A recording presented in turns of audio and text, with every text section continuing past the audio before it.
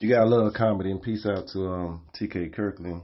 Um, fair use, just using it to prove a point in the red pill and and MGTOW spaces. Sometimes they, they sound too serious and can't get no one to laugh, so laugh.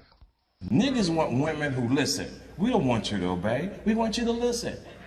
If I say duck, I don't want you to say why, because now you got shot. We in the hospital. Bitch, I said duck. That's why I want me a woman like the Statue of Liberty. Because that bitch listens to a man. It's not your fault you don't know your history. Because the white man untricked us so bad, we've been studying their history so so motherfucking long. So let me put you up on game. Years ago, the Statue of Liberty and her nigga was walking through the Hudson River. The nigga stopped and turned around and said, bitch, wait here and I'll get back. And the bitch been there ever since. And what's so fly, she snuck away and got a torch. Just in case if the nigga came back at nighttime, he could find her motherfucking name.